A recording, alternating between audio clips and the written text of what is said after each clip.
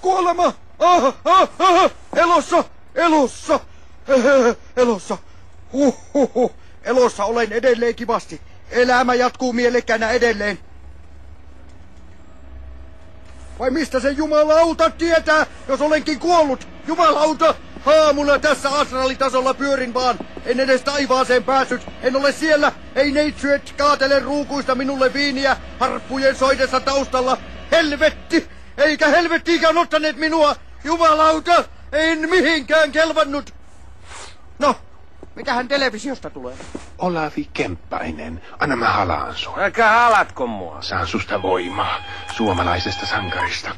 Pöysti! Mi- mistä tietää varmasti, että onko elossa? Siis mistä tietää, onko elossa sanan siinä merkityksessä, että kokee elämän ainutkertaisena mahdollisuutena, vai onko elossa siinä mielessä, että ei ole fyysisesti kuollut? Se jälkimmäinen. Lipistä ittees! Eikö se on se, että onko hereillä? No lyö ittees vasaralla!